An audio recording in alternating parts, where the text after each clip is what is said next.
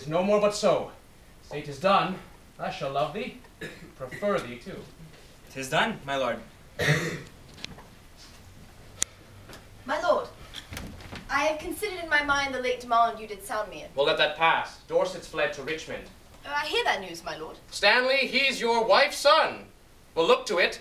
My lord, I claim your gift, my due by promise, that by which your honor and faith is pawned.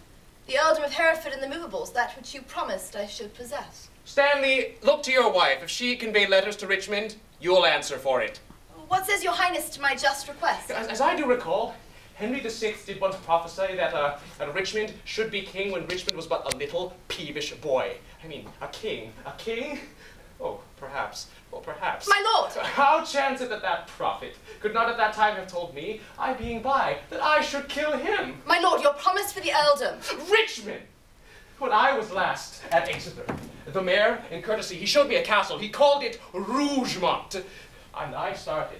A bard of Ireland, see, he once told me, You shall not live long once you have seen Richmond. My lord! What's o'clock? My lord, I am thus bold to put in mind the gift you did promise me. Aye, but what's o'clock?